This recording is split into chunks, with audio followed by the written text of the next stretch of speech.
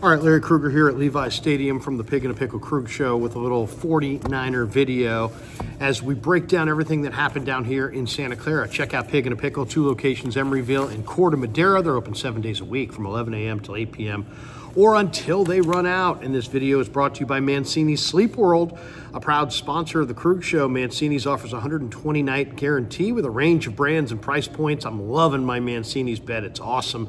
With Mancini's, you get free next day delivery. Click the link below or go to sleepworld.com and find a bed that works for you, whether shopping online or in store. Use the code KRUEG10 and get 10% off. That's right.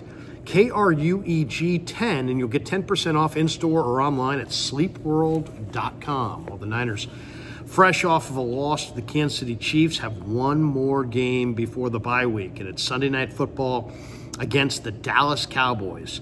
And the Cowboys have the number one special teams unit in the NFL, and the Niners are struggling bad on special teams. So that is a third of the game that probably is going to favor Dallas coming Sunday night. Now, the Niners worked out some players this week. They worked out Gunnar Britton, an offensive guard, Kellen Diesch, um, the former ASU tackle, uh, Dieter Eiselson, um, a 28 year old center, and Tarron Jackson, a defensive end from Coastal Carolina. And they signed Dieter. Um, uh, Dieter Eisden, Eiselden, or Eiselden, I should say.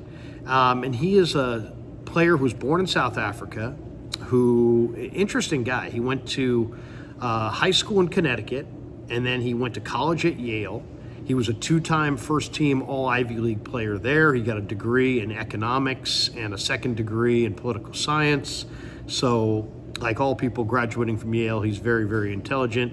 Uh, the Bears took him as an undrafted free agent. He's had a cup of coffee with the Bears, the Texans, and the Broncos. Uh, the Broncos released him on October the 19th, just a couple days ago. So that he's a former rugby player, he's a former Olympic weightlifter, um, and the 49ers have signed him. So I don't. Does that mean they're not happy with Brendel? Does that mean they're not happy with Nugent? Does that mean anything, or is it just that they had some injuries? Um, they had lost Chris Hubbard and they wanted to add a player to the practice squad, and this is the guy they added. So um, we'll see what other news comes about, but um, there you go. Evan, Evan Eiselson, Eiselen, Eiselen, I think his name is, Eiselen, um, is the newest 49er. Also, the 49ers signed Malik Turner to the practice squad. Um, the wide receiver has been with the 49ers before. Also, the Niners promoted Evan Anderson, their big defensive tackle, the rookie from Florida Atlantic, from the practice squad to the active roster. Um, Anderson's been a revelation, man. I mean, he is strong, he's quick, um, he's a really solid football player and a tremendous prospect. I mean, when you're 6'2", 325, and you can dunk a basketball, and you can he can pick it, pick up those feet and really move.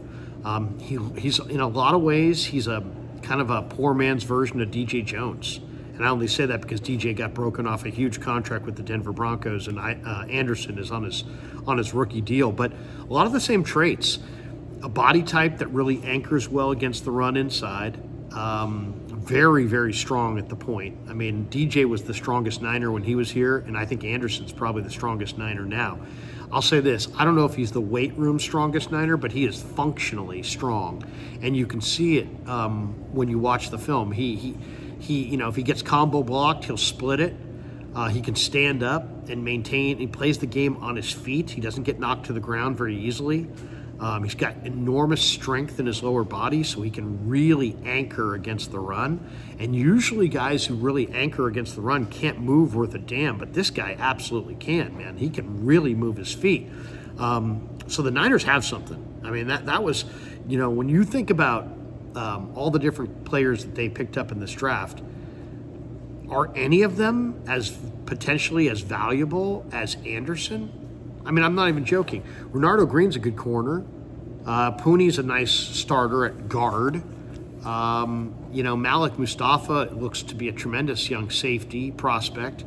But what we're talking about in Evan Anderson is a two gapper run stuffer who's got quick feet and can put heat on the quarterback. Normally that's reserved for a day one or day two type pick. The fact the Niners didn't get him in any round and signed him as an undrafted free agent and then have introduced him to their in, you know into their defense this year and only seen him produce at a very very high level in a short amount of time. Very impressive player, and uh, I interviewed him last week. He's a good kid, so um, really excited about the potential for Evan Anderson uh, as a run defender, but even as an interior rusher. Uh, he's really, really exciting. ESPN's Dan Graziano and Jeremy Fowler did an article today talking about the trade deadline. And of course, the big news of the day is that the Kansas City Chiefs traded a fifth round draft choice um, for DeAndre Hopkins. So the Titans pick up a fifth round pick, and DeAndre Hopkins now goes to KC to be their possession receiver. If you people are like, oh, the Niners should have gotten DeAndre Hopkins. See, I don't, I don't, I don't, I, I receiving corps, when you're talking about wide receivers, you know, what's a good pickup, what's not a good pickup? A good pickup for you is not a good pickup for me. A good pickup for me is not necessarily a good pickup for you. What do I mean by that? The Chiefs have Xavier Worthy. They have the field stretching vertical threat, right? Um, with the injury to Juju Smith-Schuster, they need the they need the chain mover. You know, they need somebody who can be a possession receiver. They need somebody who can make some tough catches and move the chains. D Hop can do that. He no longer can run the way he used to run, but they don't care about that. They've got Xavier Worthy to run off the top of the defense. So D Hop is very much a complementary addition for Kansas City.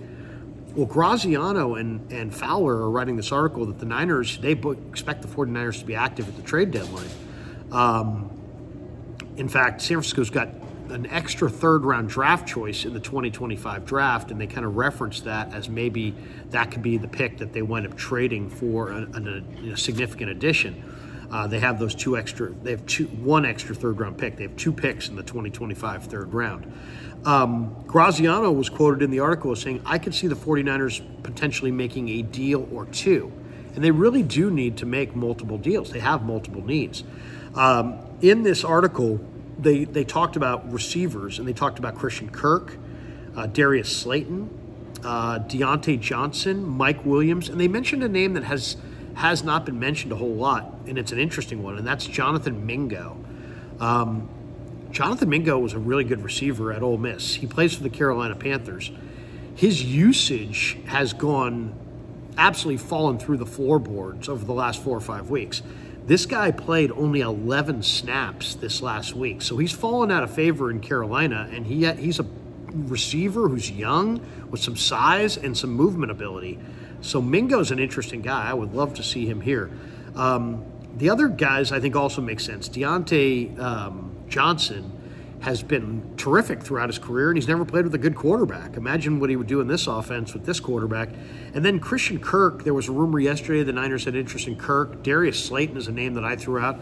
Slayton ran in the 4 3s coming out of college, and he's got size and he's healthy. He's playing good football right now. The New York Giants are going nowhere. How about a Darius Slayton Azeez Ojulari combo coming from New York? I think that would be nice. Or how about a Christian Kirk? Devin Lloyd, Darnell Savage trio coming from Jacksonville. And if you could pick your trade, I'd probably pick that one, Jacksonville. Give me Darnell Savage, give me Devin Lloyd, and give me Christian Kirk, and I'll give you a third round draft choice. I'll give you the Niners' extra third round pick if you give me Christian Kirk, Darnell Savage, and Devin Lloyd. Savage would be the veteran on the back end, would help the Niners immeasurably. I mean, he is absolutely the perfect piece for them right now. Devin Lloyd would enable them to play, you know, to sit Campbell or cut Campbell and play guys like Winters and Graham off the bench.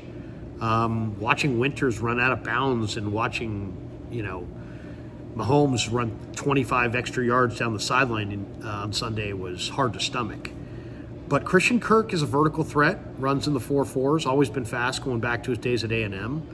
Um, he can make plays. He's a vertical threat. I mean, he, he is absolutely would be a great choice. And then Savage and Lloyd would be fantastic additions to their defense.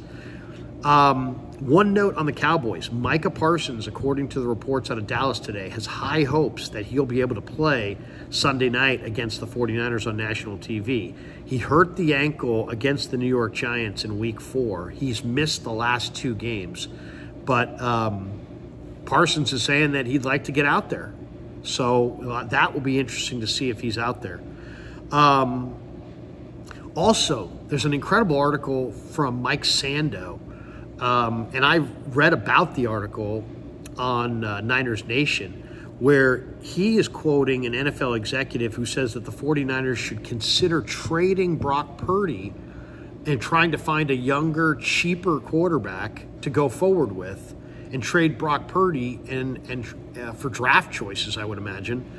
Um, I mean, I can't disagree any stronger with those execs on that one. I mean, it was one exec who anonymously said maybe the smart move would be to trade Purdy and try to get more players that can help you win now. But Purdy's ready to play now. Um, the question is, do the Niners want to pay him, and how much do they pay him? But I mean, if you're going to keep going down this road of we don't want to pay quarterbacks, we always want a quarterback on a rookie deal. You're going to have you're not going to have continuity. Um, but I think the Niners, you know, if you see that article and you're thinking, well, you know, are you kidding me? You're trade Brock Purdy? But there could be some sentiment within the building that, hey, you had Sam Darnold and you could have kept Sam Darnold. And now Sam Darnold's in Minnesota playing really good football, and you could have probably traded Brock Purdy and kept Sam Darnold and, and you know, built, built the team around Darnold. And if they feel like they can build up reclamation, uh, reclamation project quarterbacks like a Baker Mayfield or a Sam Darnold, who knows? Maybe Kyle Shanahan believes he could build Zach Wilson into something. Maybe they believe they could turn, uh, you know, Justin Fields into something. Maybe there's a young quarterback. You know, I'll give you one example of a guy who you could probably get. What if the 49ers called Jacksonville about Mac Jones? All the talk about they wanted Mac Jones. They wanted Mac Jones. If they really want to go with a, you know, a, a quarterback, they don't want to pay Brock Purdy. Do you trade Brock Purdy and go with Mac Jones? I mean, it's like you got to be kidding me. But it does make you wonder what what that executive was thinking, suggesting that that the Niners should trade Purdy and go with a young quarterback. Do, is there rumblings around the league that Kyle Shanahan wants to give Zach Wilson a try? Um, there was an awful lot of speculation before that draft that Wilson wanted the Niners and that the Niners wanted Wilson. And of course, he went number two to the Jets in front of them, and they never got a chance to pick him. And then he bombed in New York. Uh, now he's sitting the bench in Denver behind Bo Nix. I don't know. Very, very, very interesting, though, for sure. And today it has to be mentioned. Um, oh, by the way, CMC, according to Shanahan, um, is set to return to practice, but not until the bye week or after the bye week. So this week it's the Cowboys, then it's the bye week. So sounds like CMC might be about three weeks off from playing, maybe against Tampa coming out of the bye. We'll see. And um, you know, it happens every single time the 49ers struggle. You see Dr. John York show up at practice, and sure enough, the 49ers are struggling. They're three and four. Who showed up at practice today? Dr. John York. So, you know, they say who, you know, the buck stops with uh, Jed. Jed's running the show. When the S hits the fan, the guy who shows up at practice is Dr. John York. Will it have an impact? I don't know. But I've seen it in past years and I saw it again today. Whenever you get to a to a midseason point where the team is struggling on the field, Dr. John York makes an appearance at a practice. He was at practice today. What does it mean? I don't know. But it does, it is interesting that every time they do struggle, you see uh, the speech pathologist.